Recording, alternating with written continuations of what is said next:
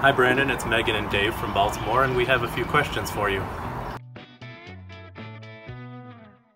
We've been lucky enough to see you perform all across the country.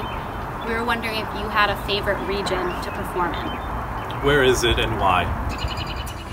Ooh, that's um, that's a tough one. I mean, because I, I, if I leave anybody out, it's going to be bad. But um, I guess being a kid from Jackson, Tennessee, not knowing the country music scene in the Northeast, that um, that completely blew me away. So when we go up there, I feel the love when we're when we're up there, and uh, that's something I I didn't expect prior to getting a record deal and actually getting to, to travel to some of these places. So um, I love going up there, especially when it's not too cold.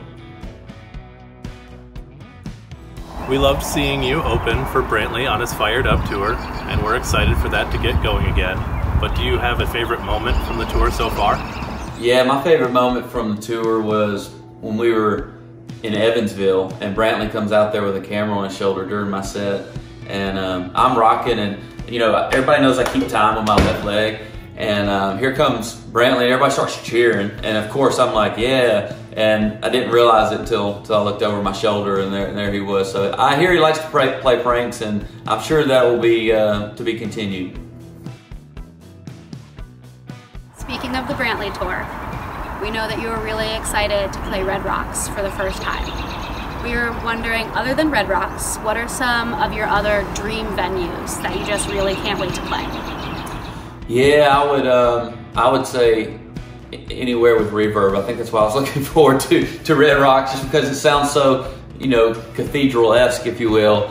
Um, it, everything you play and, and sing sounds more important when when it's cavernous. So Red Rocks was definitely on my bucket list, but you know, Watershed and also uh, the Hollywood Bowl.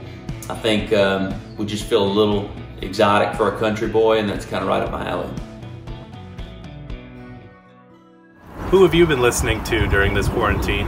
Do you have any new music suggestions?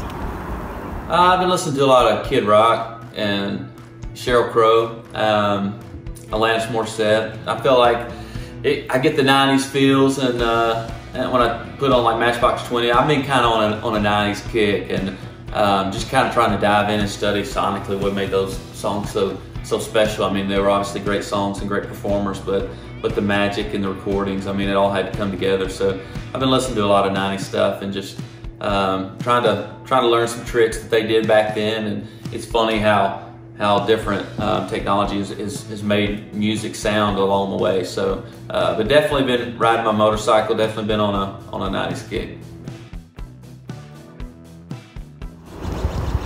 And speaking of music, obviously we're really big Brandon fans a lot of your lyrics really resonate with us. We were wondering what some of your favorite lyrics you've ever written are. Whether released or unreleased. You know, lyrics are the are the heart of every song. Um, and my, my favorite lyric to any song I've written would definitely be the the bridge of a song called Starting Young. Um, sometimes I wonder if it was you or if it was 16 when the thought of you crosses my mind. Either way, I think um, if I'd have been a little older, I could have handled you better. You know, I think that those two lines in a bridge kind of sum up so much because when, when you when you look back at the past, it's always on a pedestal. And um, was it that person you were missing, or was it or was it that time you were missing? So I think that's my favorite lyric. We know you've kept yourself busy by working on all these cars, trucks, tractors. What tool do you always lose, and where do you normally find it?